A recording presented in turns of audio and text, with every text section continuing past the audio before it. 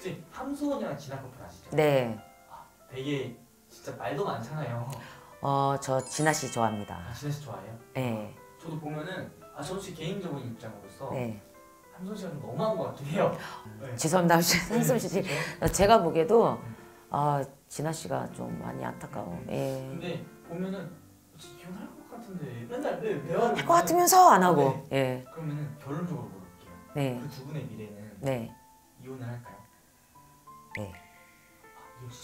아? 네.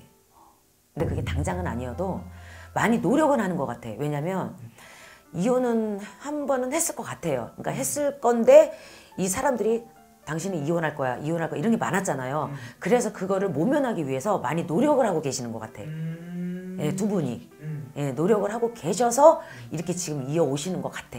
안 그랬으면 벌써 이혼했겠죠. 예, 근데 결론은 결론은 좀 안 좋아요. 그게 언제쯤 보고 계세요?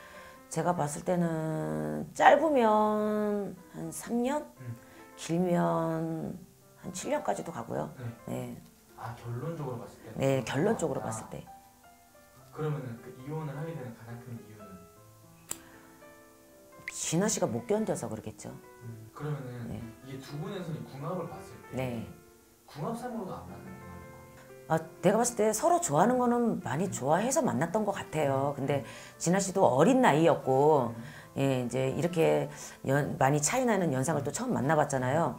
근데 누구든지 다 남녀가 그렇잖아요. 이 연애 때랑 결혼은 틀리잖아요. 그렇죠. 서로가 아마 그런 부분에서 좀 실망한 부분이 있을 거예요. 근데 그런 네티즌들 분 때문에 많이 노력을 하는 것 같고, 어, 그리고 이 함서원, 함서원 씨 때문에 이 분이 못 이겨서 음, 진아 씨가 많이 못 이겨서 그렇게 될 것 같아. 이분이 확 터질 것 같아. 아, 확 터질 것 같아요. 네, 이 18살 차이면은 뭐 남자가 18살 많은 경우는 많아도 네네. 여자가 18살 많은 경우는 거의 없죠, 없잖아요. 예. 진짜 거의 없죠. 예.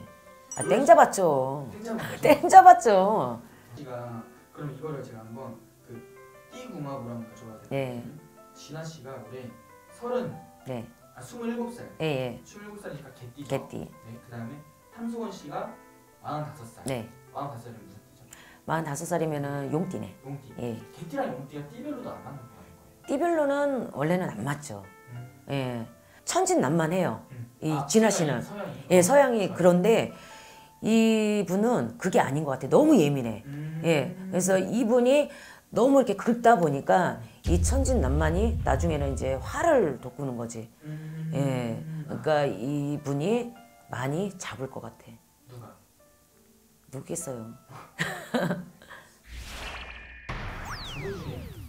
하는 사람도 있겠죠? 있겠죠. 저는 일단은 먼저 하는 사람이 있을 것 같아요. 누구요? 진아 씨. 진아 씨. 네. 그게 또 바람 펴서 막 그런 건 아니겠죠? 그런 거는 아 모르죠 사람이라. 네. 여기까지.